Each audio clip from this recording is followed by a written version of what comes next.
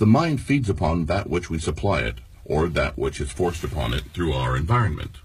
Therefore, let us select our environment as much as possible. What up, Peak Performance English Academy? O lugar onde o seu inglês fica forte. E aí, qual que vai ser o treino de hoje? You guys ready?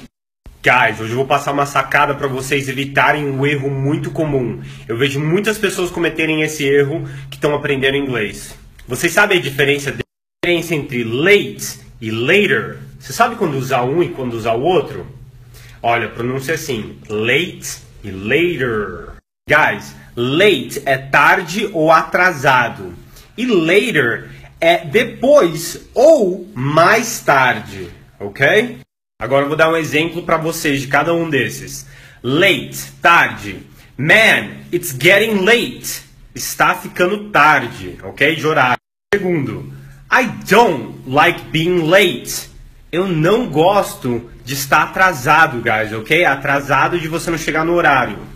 Terceiro, guys, later. Talk to you later. Falo com você depois, guys. Não é para se confundir com after, ok? Também muitas pessoas se confundem. Guys, o later é depois no sentido de mais tarde. E o after é depois no sentido de após, após algo, ok? Guys, o erro mais comum é a pessoa trocar late por later. Por exemplo, I'm later. Eu estou mais tarde. Não, I'm late. Não, vou postar esses snaps lá no Face, que nem eu faço de costume. Entram lá, guys, e treinem o seu inglês. É o único jeito de ficar mais forte, alright? Dei o nome da página lá, guys, ok? Para ficar mais fácil de todo mundo acessar, de vocês compartilharem com seus amigos, alright? Inglês forte, guys. Come on, let's get strong.